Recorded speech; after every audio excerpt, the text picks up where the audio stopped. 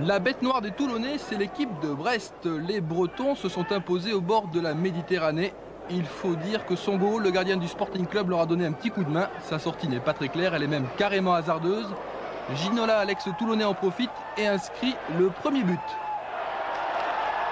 20e minute de jeu, réaction varoise, Bursac de la tête, Pineda a bien suivi, un partout. On revoit au ralenti la tête de Bursac qui n'était pas une main, comme on aurait pu le croire dans le feu de l'action. Bien vu, monsieur Ramos. Quelques minutes plus tard, Franck Passy joue tout seul. Il a raison, c'était bien vu. Lama s'interpose. Ce sont pourtant les Bretons qui reprendront l'avantage juste avant la mi-temps. Un penalty gentillé, transformé par Milosevic.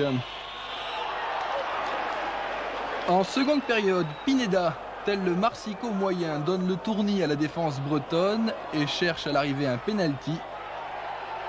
Penalty accordé quelques instants plus tard à Bursac pour une faute pas évidente. Le numéro 9 toulonnais veut se faire justice lui-même, mais ça passe à côté. Score final 2-1 pour Brest.